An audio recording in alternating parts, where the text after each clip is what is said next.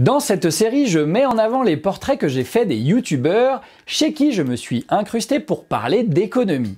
Aujourd'hui, on va faire le grand écart entre deux chaînes qui ont très peu de points communs, mais surtout, en fin de vidéo, on va apprendre un truc dingue qui s'est passé en Inde et qui a un rapport avec les shorts vidéos que l'on trouve depuis peu sur la plateforme YouTube. Ça a aussi un rapport avec TikTok accessoirement. Allez, on commence avec David Castello Lopez.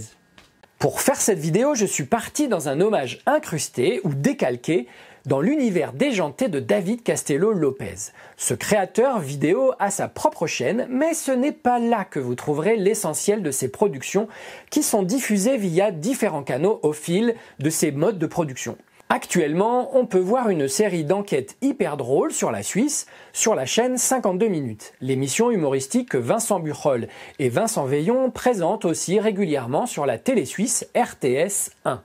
Mais auparavant, il a fait une série de reportages intitulée Depuis quand ça existe les choses de la vie, qui a été diffusée sur Canal dans l'émission Les Reporters du dimanche et que l'on peut donc aussi retrouver sur la chaîne YouTube du même nom.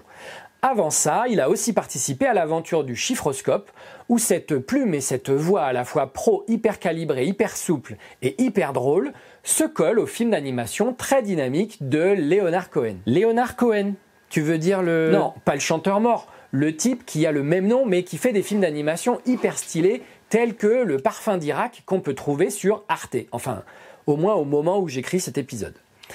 C'est après une formation de journaliste qu'il a amené jusqu'à l'université de Berkeley face à San Francisco que David Castello Lopez se lance dans les médias français où sa liberté de ton, aussi bien dans le choix des sujets que dans la façon de les aborder, fait un bien fou.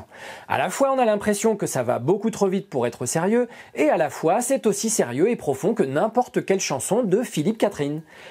Pour certains, cette référence peut amener à faire sourire, mais pour moi, il y a quelque chose de très sérieux et de très profond dans le travail de Philippe Catherine.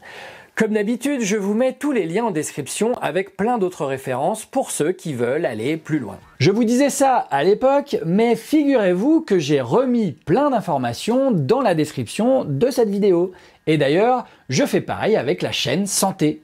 Passer de la créativité et de la curiosité délirante de David Castello Lopez aux vidéos beaucoup plus calmes de la chaîne Santé, c'est une façon d'entendre l'incroyable éclectisme que nous offre en permanence le partage de vidéos sur Internet.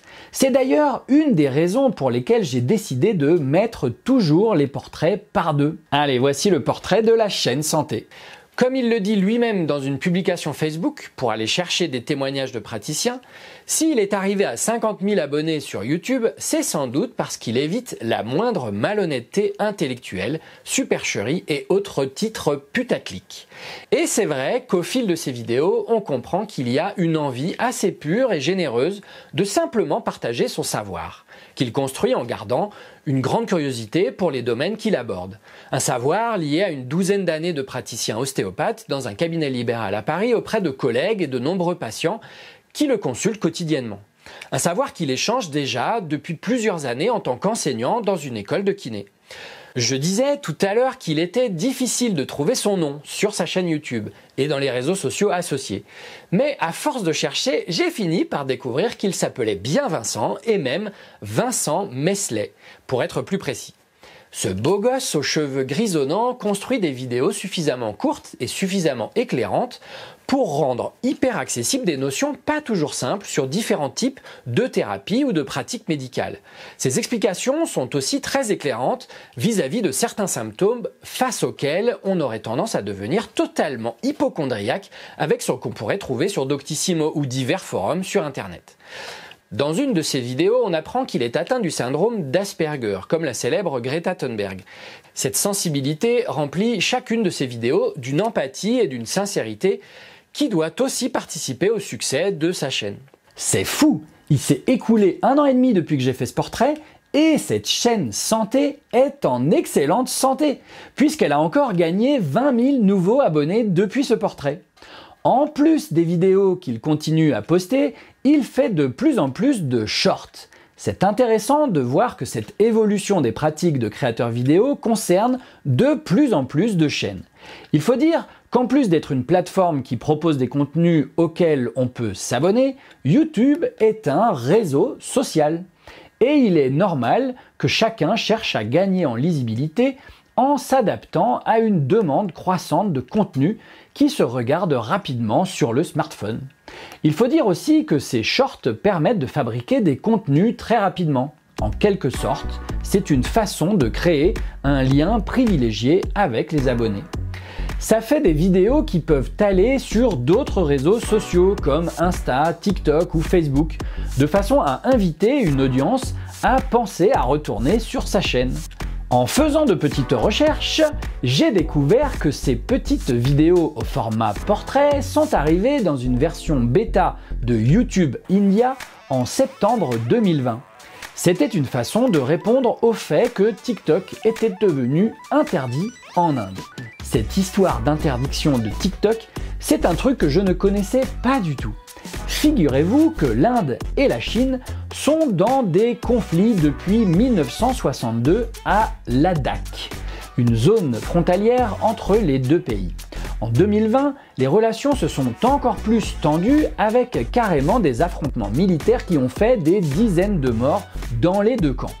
Et au milieu de ces conflits, les autorités indiennes ont décidé d'interdire TikTok parce qu'ils craignaient que l'application ne soit utilisée à des fins d'espionnage.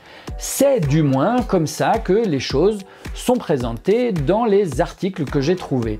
Mais il peut aussi y avoir dans cette interdiction une façon de mener une autre forme de guerre contre la Chine où se trouve le siège de cette application. Quelles que soient les raisons de l'Inde, le résultat c'est que l'application TikTok y est interdite depuis le milieu de l'année 2020 et que plein d'applications du même type se sont développées en Inde pour récupérer ce juteux marché et répondre à cette demande grandissante. C'est ainsi que YouTube États-Unis s'est mis à développer ses shorts en mars 2021 avant qu'on le retrouve dans toutes les plateformes YouTube du monde à partir de l'été 2021. Étonnant de voir comment les questions géopolitiques peuvent s'immiscer dans le déploiement d'outils multimédia. Bon, mais bien sûr, je ne doute pas que YouTube y serait allé avec ou sans cette nouvelle étape de la guerre sino-indienne.